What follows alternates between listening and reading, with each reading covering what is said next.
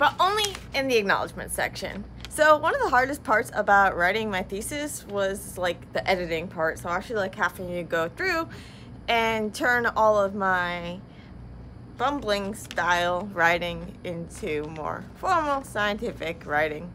Um, so one of the things I've loved about like blogging and doing the bumbling biochemist stuff is that I can really just like explain things in a way that makes sense to me and in just like a more casual way that hopefully helps other people uh, like connect with science too. The bad part about doing all of that science communication stuff is that then when you go to do like formal science writing, you have to like take out all of that stuff.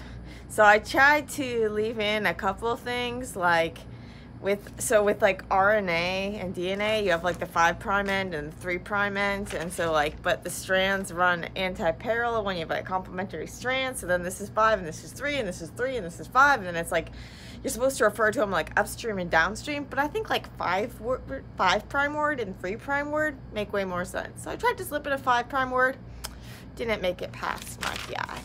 But anyway, I tried to get rid of most of that stuff before I got um, sent her the draft to look over. But the one section that you are actually able to put more of your like personal style in is the acknowledgement section. So I'd actually save the acknowledgement section for last because I thought it would be the easiest to write in part.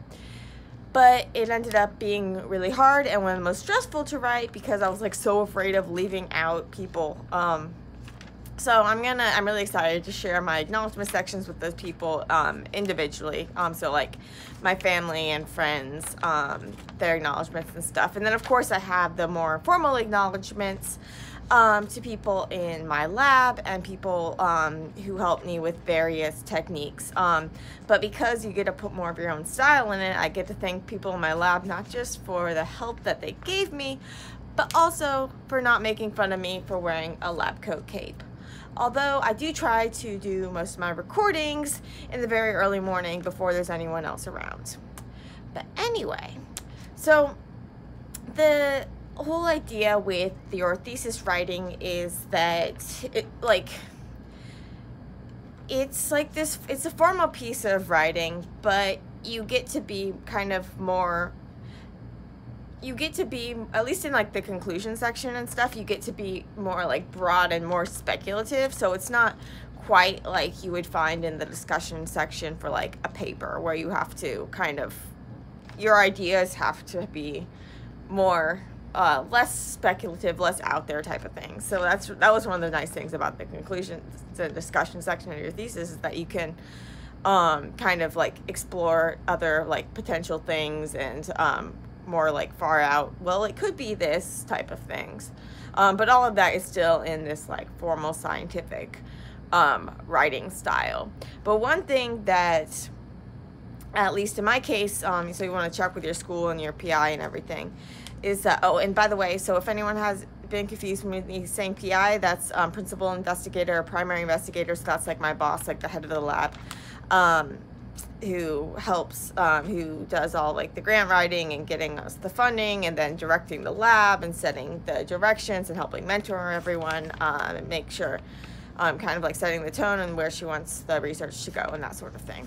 So that's what a PI is. Um, but anyway, so when you're writing your thesis, so at least in my case, you actually get to say I did something, like when you actually did the something.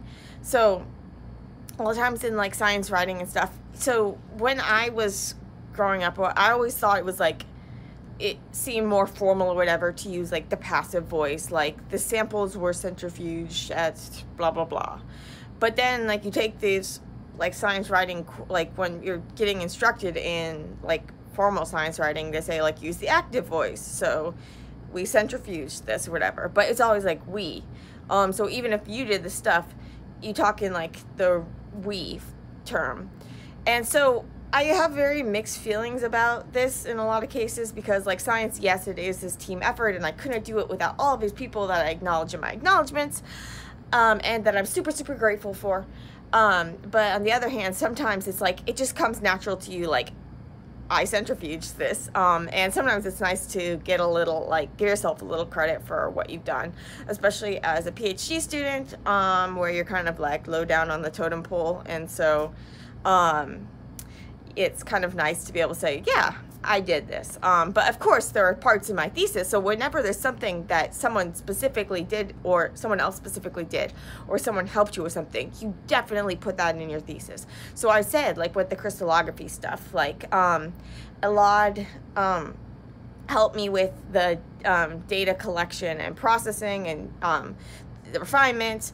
Um, help teach me these things and um, help with a lot of it and that sort of thing. And so it's really important that you put in those things. Um, but when you do actually, um, like when I ran all these assays and stuff, I can say I ran all these assays. Um, so assays are just like experiments where you're measuring something. So I did a bunch of assays where I was like binding stuff, stuff where I was measuring um, phosphorylation with all these methods and all these different experiments um, that I can't really go into yet because my paper's not out yet.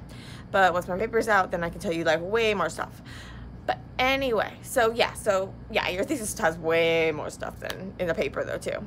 Like I've been talking about in past posts. But so you use this like so you get to use I, which is nice, but then everything else is still like formal, except for the acknowledgement section. And the acknowledgement section, um, you can put more style into, and you can like thank. So in addition to like thanking my lab mates for not making fun of my cape, I also um, thank some random things that have helped make this thesis possible like coffee and under the desk ellipticals, which have kept me sane because I like to like work and move. Um, and so like thesis writing and stuff is like ah, because you're like in place. Um, but the little like under the desk thing really helps. Um, let's see what else did I think. Podcasts um, so shout out to Skeptic's Guide to the Universe and whatever comes on NPR One.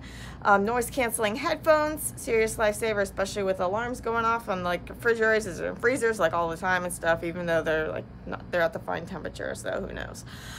Um, yeah, so there's like a ton of things I think. Um, but of course I think like the really serious things too. Um, and so I'm really serious in seri- being seriously, seriously grateful for those serious things as well. Um, and so yeah, so family and friends, everyone who supported me.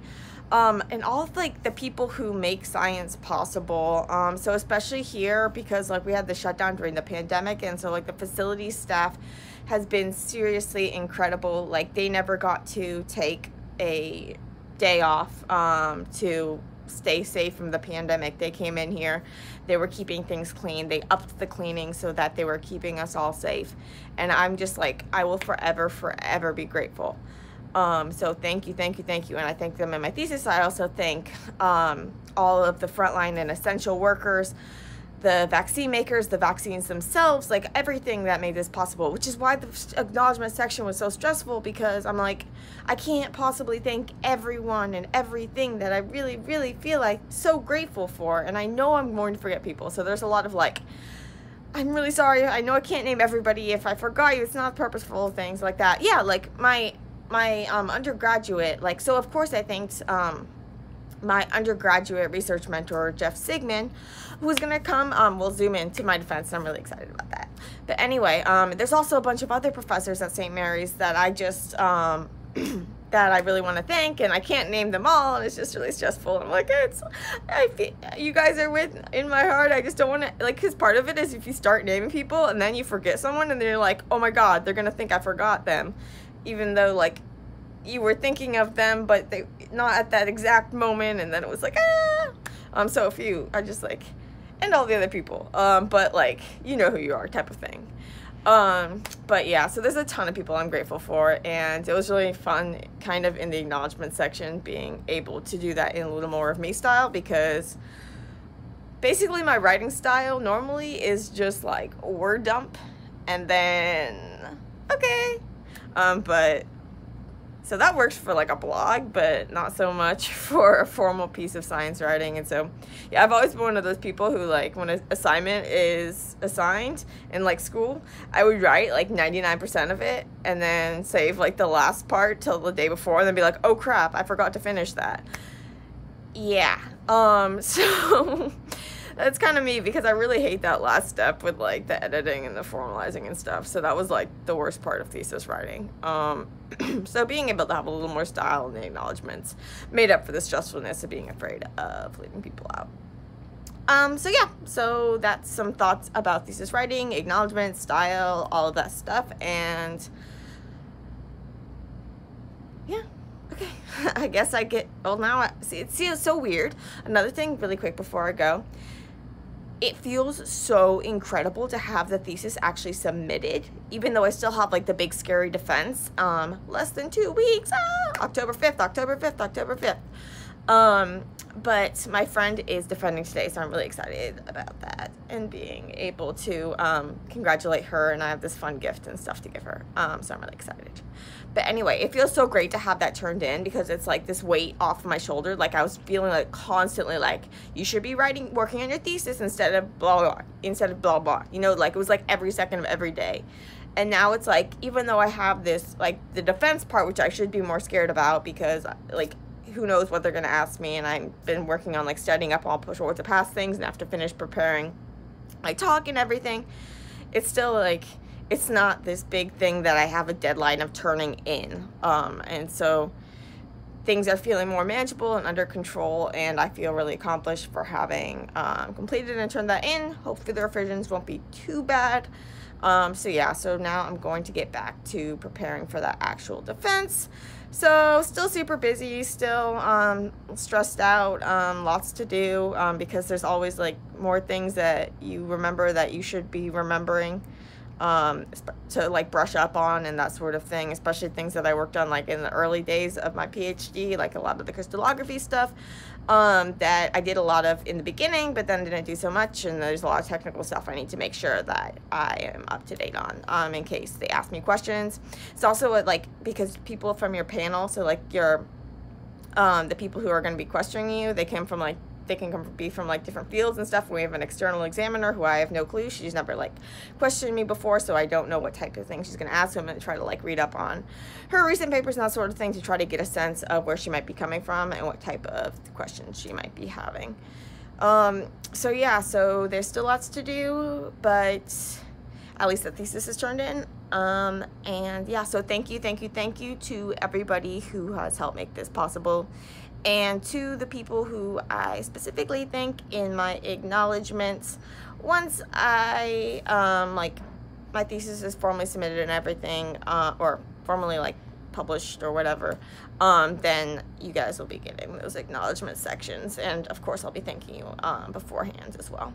Um, so thank you, thank you, thank you, people. And thanks for putting up with me not editing stuff. Okay, gotta go. Bye.